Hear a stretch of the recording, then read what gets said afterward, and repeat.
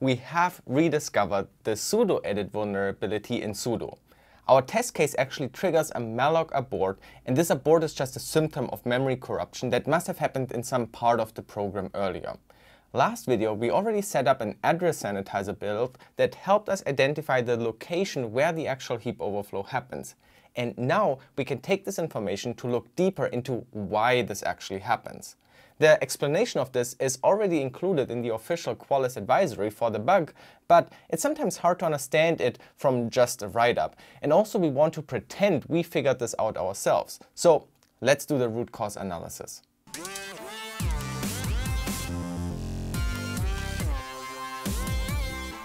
To analyze the crash we found, it's useful to have a debugged version that makes the process more comfortable. Minus G is the compiler flag for adding more debug information, so we can ensure to set that by setting the C flags. We can also add minus O0 to disable any optimization. Now let's launch GDB with the source sudo binary. By the way, in this case I have GEF installed as a GDB extension for nicer debugging. As we now know from last video, where we used address sanitizer, we learned that the overflow happened in this loop in sudoers.c. Specifically, this memory moving around, writing bytes from from into to. And now that we have a debug build, we can actually set a breakpoint based on the file and the code line. Break sudoers.c at line 868. Then we can run it and we pipe in the minimal crash file as an input. Breakpoint is hit right here at the from to copy. For many of you, this might look like really scary pointer magic. We not only have pointers, but we also mess with them using plus plus. I know this looks intimidating, but let's look at this in assembly. I know assembly looks even more intimidating, but actually it's much more simple as long as you can read the basic assembly syntax. This single line of C compiled to multiple lines of assembly. But don't worry, take my hand and let me walk you through. You will see you could have done that yourself. RBP is the base pointer. Together with the stack pointer, RSP, they define the start and end of a stack frame, and local variables are stored on the stack in the stack frame area. So here we are loading the value of a local variable into RAX. GEF is awesome because it color codes the addresses. This purpley color means it's a stack address. So just from the color, we know these values are stack addresses. And because it's an address, GEF also tries to check what is stored in that address. And here we apparently have the malicious argument 0000 with the backslash. And that's basically how pointers work. Pointers are addresses, and in RAX we have an address, we have a pointer, and this arrow here is just a perfect symbol because this address points at this value. So RAX is the address location, the pointer where the argument string is stored. And now see what happens next. We move RAX into RCX, so now we have a copy of the address in RCX, and then we increment RCX by 1. Now look at the C code. We have a from pointer which is incremented, which means the address is incremented. So we make the address point to the next byte. So RAX is the original address and RCX is the incremented address.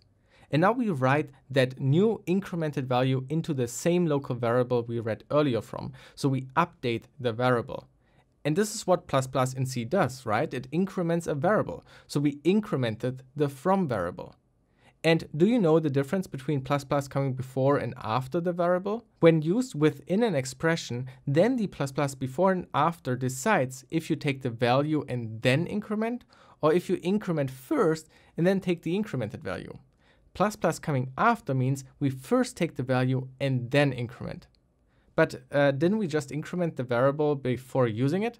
Well, technically yes, but we incremented RCX and RAX is still the value before we incremented it. And now we use RAX. So the code just already update the local variable, but we still use now the non-incremented value. Anyway, RAX still points into our string and we perform a move into DL. But here we use byte pointer RAX. So this essentially in brackets means we take RAX as an address and we want to move the value stored here. So here we are copying the first byte of this data, so this ASCII null. In hex, hex 30. So in DL, which is the lowest byte in RAX, you can see now the loaded value hex 30 and ASCII null. So now we evaluated the right part of the equal sign. We loaded a byte from the from pointer and incremented from. And now let's see what the left side is doing. We are starting by loading another local variable, also in RAX again, and you can see it's also an address, but this time its color code is green. This means it's an address located on the heap. So it's a different address pointing somewhere else, but like before, we increment it because the to pointer also has a plus plus. So we move RAX into RCX, we increment RCX, and we write it back into the local variable on the stack. But again, RAX still contains the address before we incremented it. And see how we use it now? We move the byte we loaded earlier into the location pointed to by RAX. So we are copying this byte onto the heap. And that's it. Now you understood this magic pointer line. We simply have two addresses. We dereference the right one to load a byte and we write it into the location of the to pointer and we increment both. Executing this in a loop copies bytes. And now let's check the code surrounding this. So we are coming back up now at the start of the while loop and here is basically the same code we dereference from. So we load a byte from this variable and that's exactly what happens here in the assembly code we load into RAX the first local variable, and then we compare it if the address location is a zero byte. Strings are null byte terminated in C, so this is simply a loop that checks if we reached that null byte. And that seems safe, right? We have a loop copying each byte and we copy until we reach the end of the string. All fine, except we have these two lines. But here you can also see something really cool. Here we write from bracket zero. And look at the line in assembly it looks exactly the same like the dereference of the from pointer. It also just loads the address into RAX and then it loads a byte from that address. It loads a byte like these lines did. In fact, star from and from bracket zero are exactly the same. This is because arrays in C are also just pointers. So if you load a value from a pointer by dereferencing it or loading the first value within an array notation, that's the same. And so here we check if the current byte is a backslash, and if that is the case, we increment from again, and that is the source of the trouble. Let's see that in action. I have set a breakpoint right here at the copying of bytes, and we can keep continuing in GDB and observe RAX. RAX contains the address of the from pointer, so the source string of the copy loop.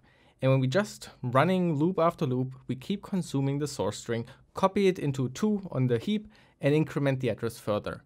And now we reach the end. We are at the backslash now. And see what happens now. We reach the compare of hex5c, so we check if the byte is a backslash, and that's the case. So now we enter that if case. Here we now increment from. So we load the variable, add one to it, and we write it back. Which means the from pointer is now pointing at the null byte. You can see here how GEF does not display a string anymore because a null byte is not a string, it's the end of a string. GEF displays it as a hex number now. But here is the null byte. And now we enter the copy line again and we copy this null byte to the heap and we increment from. Suddenly pointing into another string. Here we also have ASCII zeros and we keep copying that now because this while loop check missed the null byte. This if case skipped the null byte. So we copy more bytes than intended. But how many bytes were intended? The to address on the heap where we copy to is coming from user args. And if we scroll up a bit, we can find the place where we allocate the size of the user args. And this size is the sum of all the string lengths of a v, and a v goes over the argv arguments. So we loop over each element of the arguments, we check the string length, and add up the sizes, including the string terminating null byte plus one. So we allocate memory that is large enough to hold all strings, but this loop down here looks for backslashes and skips the value after the backslash. Which in theory can only make the string shorter because we skip characters we don't copy, but the bug is that we can skip the final terminating null byte because the backslash is at the end and thus we skip over it and start copying more data, more than the string length had calculated earlier. But why is it doing that? Why is this even looking for a backslash, then skipping it, causing this whole drama? Well, the comment in the code here says, when running a command via a shell, the sudo frontend escapes potential meta characters. We unescape non-characters for sudoers matching and logging purposes. So this is an unescape logic.